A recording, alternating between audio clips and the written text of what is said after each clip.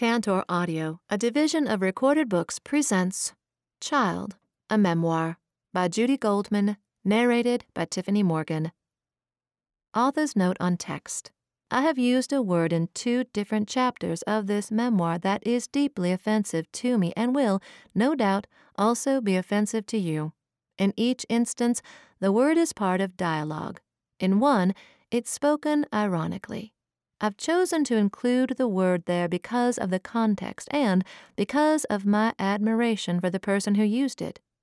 It also appears in that chapter as part of a thought I had as a child. In the other chapter, I included the word to convey the full horror of the moment. Prologue Like thousands of white Southerners in my generation, I was raised by a black woman who had to leave her own child behind to work for a white family. At least, that's what I always believed. It wasn't until I'd written several drafts of this book, then happened upon unsettling information which had been in these pages all along, that I started asking questions of the people who were still alive. And that's when I learned there was more to the story. A story that, of course, encompasses race, but also childhood and all that occurs before we grasp the true scale of the grown up world. These are macro narratives, fragments that form a love story, a jumbled up love story, the ordinary, moment by moment story of Mattie Culp and me from the time I was three until her death 63 years later. Memory is two parts. First, the re inhabiting. The light outside our window is fading Mattie and I sit side by side on the edge of the bed. She takes off her glasses and places them on the Bible on her bedside table, leans closer to me so that I can rub her pillowy shoulders, mostly her right shoulder, the one that always goes stiff after a day of work. My small fingers soften the knots that need softening. She whispers, You got magic in your hands. Then the interpreting. Our love was unwavering, but it was by definition uneven. She was hired by my parents to iron my dresses and fry my overnight eggs, but that doesn't begin to describe the marvel she was to me. And what was I to her? How to be clear and unidealized about that. At times, I've hesitated to even talk about us, and if I couldn't talk about us, I sure couldn't write about us.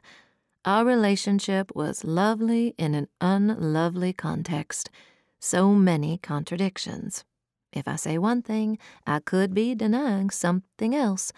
My opinions might really just be assumptions, any innocence I express simply defensiveness.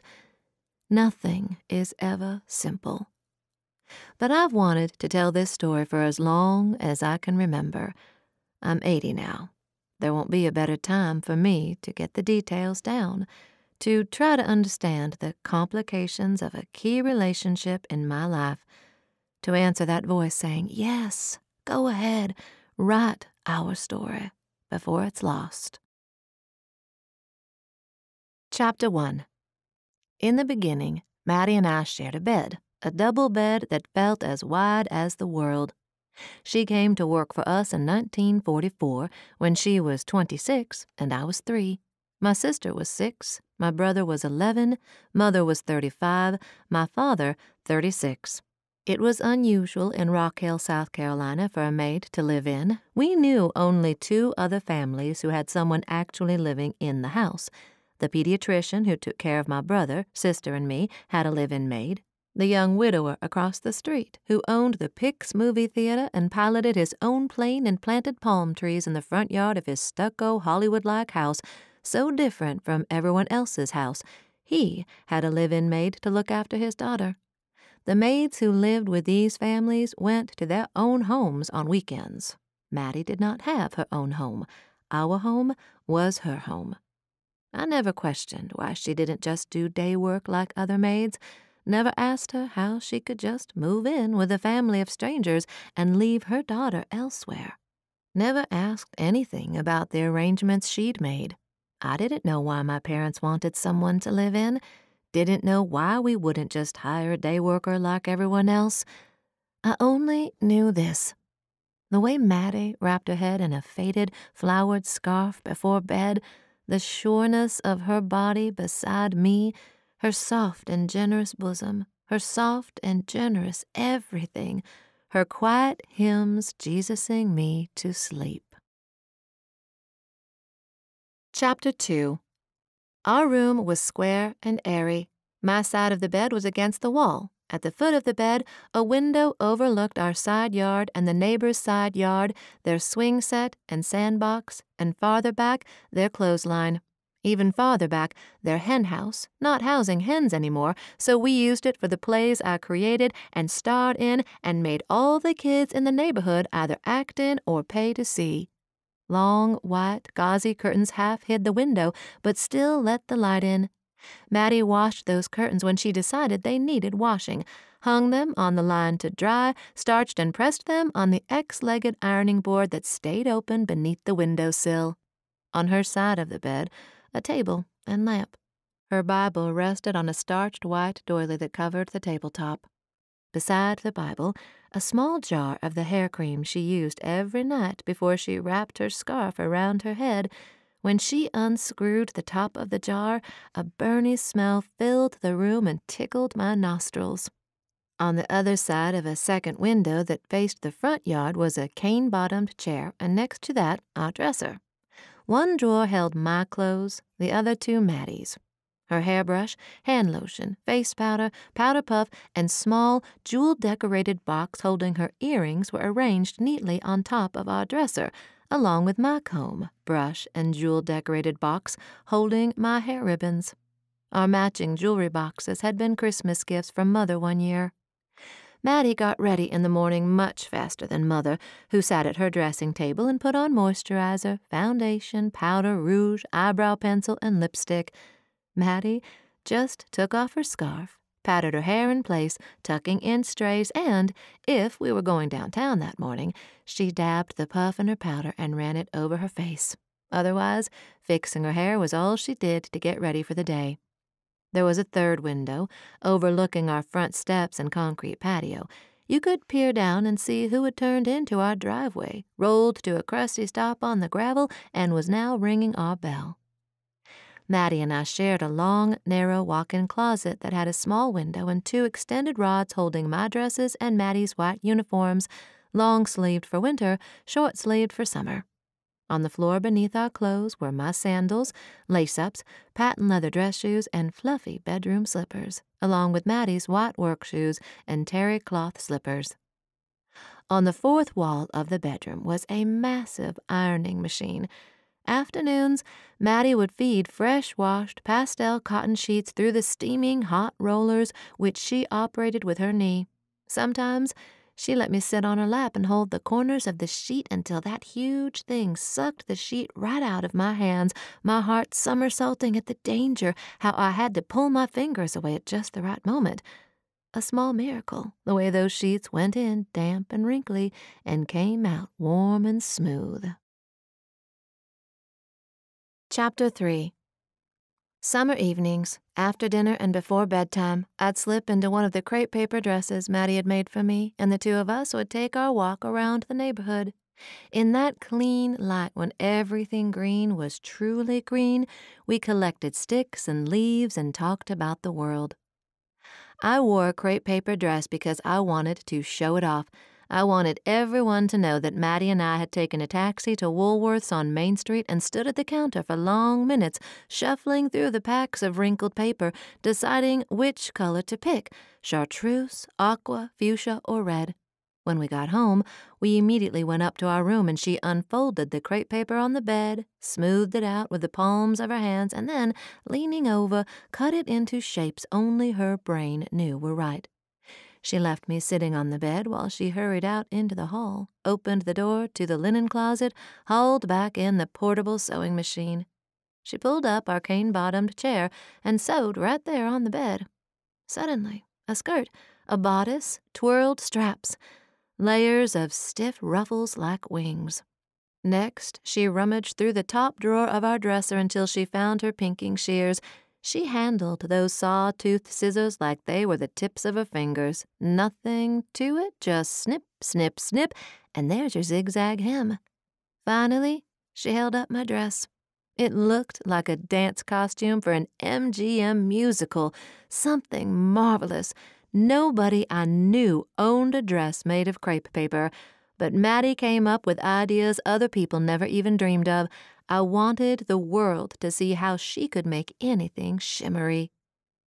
Around the time I was four, in 1945, a tiny white frame house was being built on a narrow vacant lot on Myrtle Drive, one street over.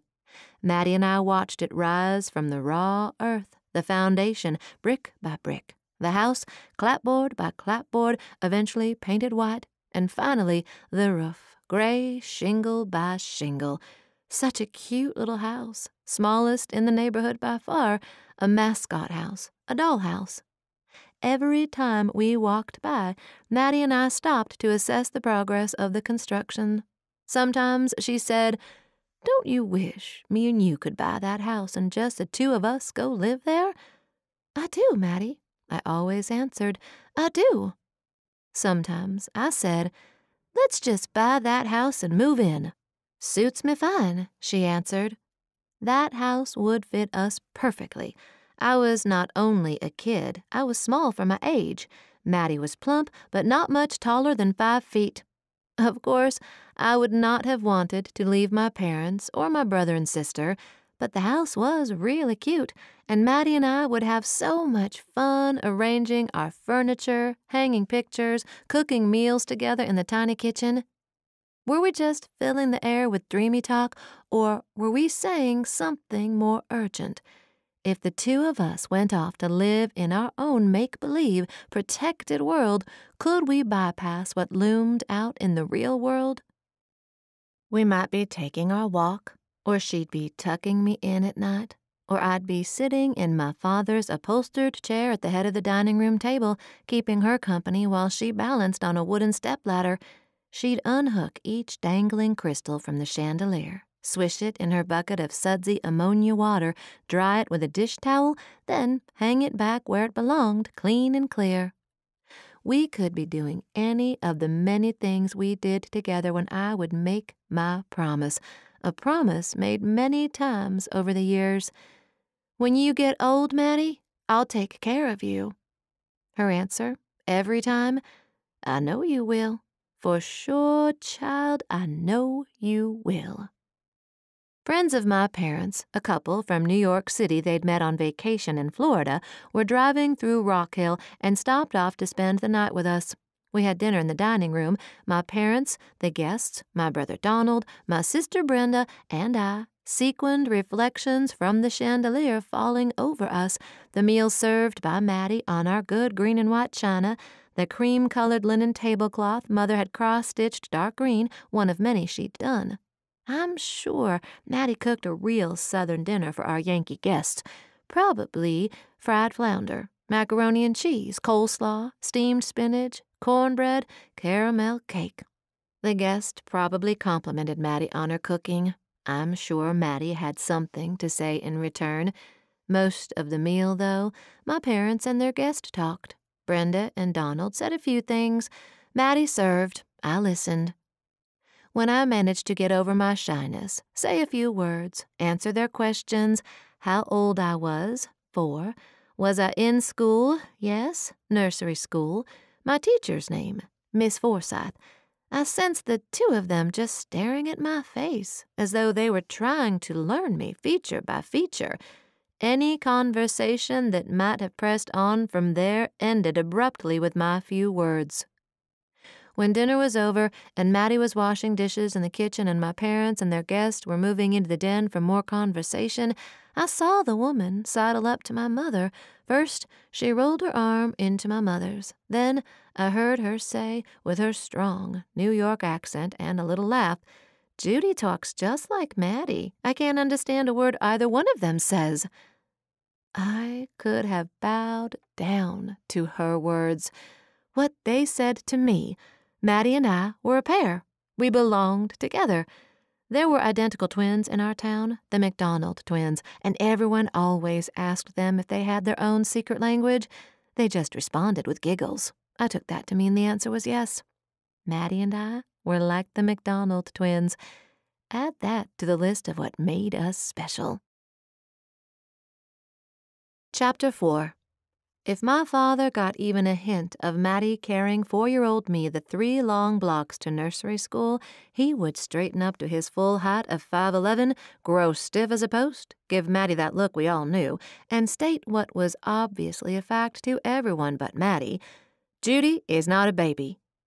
After I was grown, I would learn that Mattie almost quit several times during those early years because of my father's strictness, not just in dealing with his children, but in everything. He was blunt. He was stern. He was boss. There was a right way to do things and a wrong way, and it was his job to make sure everyone did things the right way. Mattie had her own way of doing things.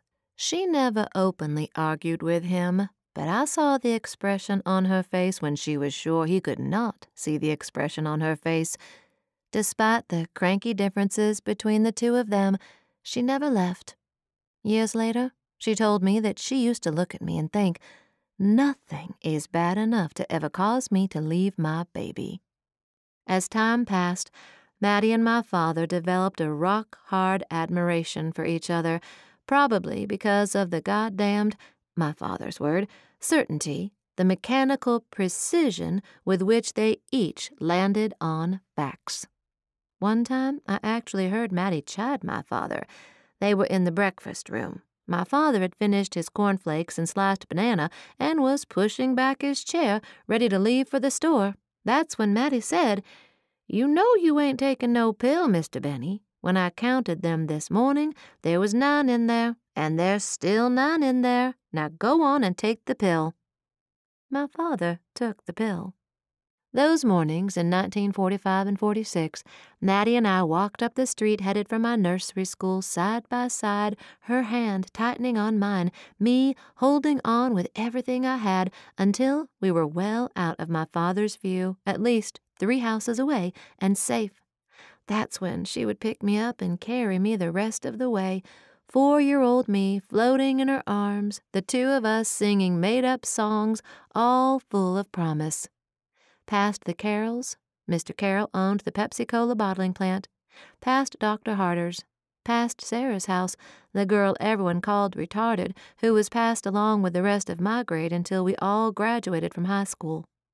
When Sarah and I were older, we walked to school together past Mrs. Blakely's, everyone's eighth grade teacher, on up Eden Terrace, across busy Charlotte Avenue, no light there, be careful. Past the castle like school Donald and Brenda attended, the school I would attend from kindergarten through 12th grade. Stand on the outside edge of the curb and wait for the light at Oakland Avenue, Rock Hill's busiest street, to turn green. Then cross into the leafy grounds of Winthrop College, all the way back to the nursery school, which resembled a cozy little brick fairy tale cottage, where my teacher, Miss Forsythe, whom we children jokingly called Miss So-Forth, stood in the doorway, greeting students. She'd say good morning to Mattie and me. Mattie would set me down, walk me to the doorway, holding my hand. As Mattie let go, Miss Forsythe took my hand and walked me in. I always looked back over my shoulder for one last glimpse of Mattie. I usually caught her looking over her shoulder at me. Chapter 5 If someone came to our house to spy, they would see three children loving Mattie, and they would see Mattie returning that love. But it wouldn't take long to discover what everyone in our family knew. Mattie's and my connection was the special one. The love between Donald and Mattie was held together by jokes. His jokes, and he knew a million, made Mattie laugh so hard she held her sides and shook. I could be upstairs and, without even cupping my ears, hear her laughter ring out from the kitchen. I could also hear her saying, Don't make me laugh, Donald. I'm about to burn this gravy. Brenda cooked with Mattie, the two of them spending hours deciding which recipe they would try, how they could alter it to be more interesting. Their peanut butter fudge and candy apples, the coating so hard you had to crack it over the back of a wooden chair to get it started, were famous on Eden Terrace. The little boy who lived across the street always managed to appear at our front door just as whatever Brenda and Mattie had baked was cool enough to eat. Donald and Brenda's hearts were wide open to Mattie all her life, and hers was wide open to them. There was no competition among us for Mattie's love, but when you start out as two beings spooned together in sleep, well, Mattie's and my connection would be hard to match. I was a typical youngest sibling, which meant I paid attention to and memorized everything about my brother, eight years older, and my sister, three years older. I idolized Donald and felt sorry for him both. Our father considered it his job to mold him into a perfect human being. Perfection would have been a son who loved schoolwork, not girls, who watched the Ed Sullivan Show with the family instead of holding himself away in his room playing his Dixieland jazz records. A son eager to work in the smart shop, our father's store, selling dresses, happy to spend the rest of his life in Rock Hill, eating meatloaf and mashed potato lunches at the Andrew Jackson Hotel with the men who owned shops, practiced law, and ran banks on Main Street. Donald would never be that person. He set himself apart from the rest of us, yearning for something bigger and better than Rock Hill. He never even looked like anyone in our family. He has mother's brown eyes, and there's something about his chin that's like our father's, but nothing else from either parent. I thought he belonged in the same category as James Dean or Montgomery Clift. That air of mystery, of knowing, a level of sophistication and wit and remove. Brenda was a different story. Everyone said she looked just like our father and was exactly like him, which meant those two tall, lanky people were forever bound in mutual admiration and understanding. If she'd been born a few years later, when girls could dream of careers other than teaching or nursing, running the smart shop would have been perfect for her. She was always creating businesses that relied on her artistic talent. At 10, she spent her allowance on tiny seashells from White's Hobby Shop, which meant I spent my allowance on tiny seashells. She turned her shells into flowers with honey colored glue, turned those flowers into earrings and pins, which meant I turned my shells into earrings and pins. Mother wore our jewelry. Mattie wore our jewelry. Brenda also sold her earrings and pins to La Petite, the beauty shop we went to out on the bypass. Sometimes she allowed my jewelry to be included. La Petite was housed in an old Dairy Queen. The owner kept a display of our jewelry right by the door of the little red and white building where you came in, couldn't miss it. Brenda and I published a neighborhood newspaper, Eden Terrace Gazette. She was editor in chief, business manager, and art director. I was a reporter. We both wrote the articles, she illustrated them. We copied each page over and over by hand, stapled them together, produced dozens of copies. It was my job to sell the papers, door to door, up the street, as far as Brenda told me to go. Mattie was always alert to my little sister status. Judy, you've sold enough papers. You go on and do what you want to do now but I was awed by my sister's talents, wanted to be with her, do whatever she was doing, learn how to be her. Sometimes she let me in, sometimes not. The similarity between our father and Brenda, same temperament, same willful nature, meant that Brenda presented the same challenges to mother as our father did. None of us ever witnessed our parents' quarrels, but Brenda's moods and mother's frustration with those moods hung out there all the years of my childhood. Brenda slammed doors. Mother pleaded. Brenda, mad at Donald, hurled an iron donkey bottle opener at his head, missed, a donkey ear dug a deep hole in the breakfast room wall. Mother hired someone to wallpaper it over. Brenda packed a suitcase to run away from home. She even wrote a last will and testament, leaving me her stuffed animals, which I didn't mind at all. Mother begged her not to go. Mattie convinced her to unpack and stay home. I would describe my father and Brenda this way no foolishness about them. They each projected a strength, a serious control, a certainty. I see it this way, so it is this way.